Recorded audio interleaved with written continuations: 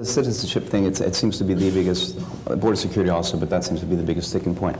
In, in your research, do you find that the majority of people here without proper authorization uh, want to become citizens, or do they just want a status? I mean, it's easy to say that the dreamers do, obviously, this is what That's they've right. known their whole That's life. right. What about the other folks? I mean, do they, do they want to be citizens, or do they just want to be here legally and work and be able to do it without looking over their shoulder? So, so in our, in our resolution, we didn't prescribe uh, what that roadmap needed to look like, that roadmap to citizenship. In fact, we talked about border security in our, right. in our resolution. Uh, We talked about a guest worker program in our solution. Uh, I view this issue, eh, they're, they're two baskets, right? The guest worker program, I think, is important, but it is prospective. How do we align willing workers and willing uh, U.S. employers in a fair, legal, legal and transparent system to meet the needs of U.S. business prospectively. Because the U.S. Chamber of Commerce will tell you that they need 500,000 low-skilled workers year over year in order to meet the needs of U.S. business in hospitality, agriculture, you go all the way down the line, right. okay? So I view that as prospective and important. But what do we do about 11 million people who are here? Some of which want to stay as legal permanent residents, some of which are just trying to save uh, enough money to go back home, some of which want to be citizens. And frankly, we want them to be citizens. I- I'll tell you, look, if, if if you look at two guys sitting on a stoop in Villa Perdida, Mexico, I just made that up, right? And one guy says, hey, this place stinks, and I'm going to go down to the store and I'm going to, I'm going to buy a 40 ouncer, and I'm going to drink and pretend this, you know, pretend I'm somewhere else. And then the other guy says, I'm going to save $8,000. I'm going to go to the United States. I'm going to work my tail off. I'm going to either send money back or want to bring my family there. I'm going to add value. Who do we want as a country? We want the entrepreneur. In fact, this country has never been built on a Puritan work ethic. This country has been built on an immigrant work ethic. It is the entrepreneur, the risk taker, the immigrant who has come here, whether they were waves of Chinese or Poles or Italians.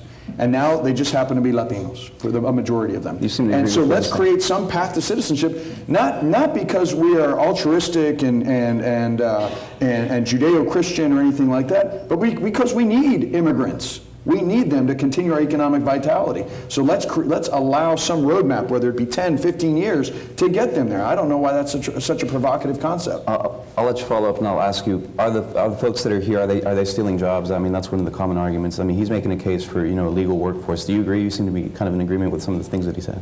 I believe that what Representative Anchia is talking about uh, is, is more applicable, I think the party is probably more applicable to the Dreamers.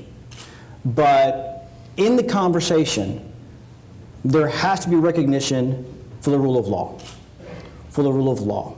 The guy who came here with $8,000 to this country to better himself, in doing so broke the law. Now we can argue all day what's the process, what should have been the process, what have the feds put in place, how does that work, what does it look like, is it 10 years, 15 years, whatever the story is. But there has to be respect for the rule of law. And the fact that he's here illegally can't just be brushed over. There has to be some recognition of that. So we say, okay, what about what about fines? What about fees? What about military service? I mean, all those things are. I, th- I think I saw a lot of that in the resolution, That's right. which, quite frankly, we can't do anything about. That would be a federal decision. But that rule of law uh, to be applied has to be in the conversation somewhere.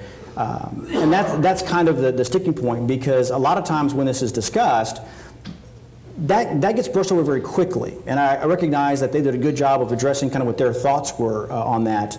But it's important that, that remains in the conversation because that is fundamental to the conversation and the decisions going forward is regardless of what the law is or how bad it is or how broken it is, the fact of the matter is that it was broken. If you talk about the people who came here in the 10s and the 20s and the 30s, they came here legally and who were embraced, because you're right, they were embraced. That's not true. Well, They, they, they, they neither came here legally nor were embraced. All right, there was no there was no uh, immigration and naturalization service. People showed up on boats. Uh, with no prior appointment, they disembarked. They were checked for for uh, illness. Their names were changed, and they said they were asked, "Hey, do you have somebody to go live with? Uh, you know, get off Ellis Island and get into the boroughs." and were they sent back? There was, there was, no, they weren't. They weren't.